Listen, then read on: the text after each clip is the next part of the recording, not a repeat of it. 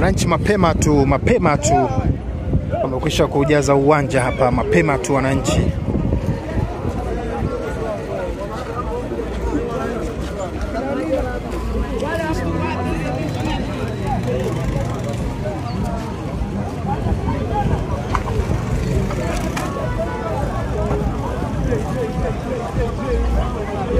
Kijana mwongo mwongo JJ yupo Tapokea simu dakika moja.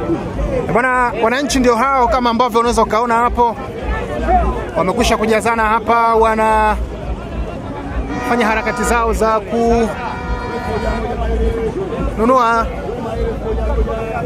tiketi na mambo mengine kama hayo. Hao ni on fire.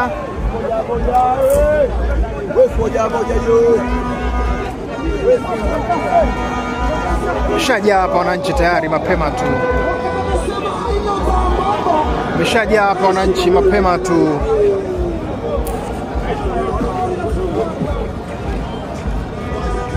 Wananchi mapema tu wameshajaa.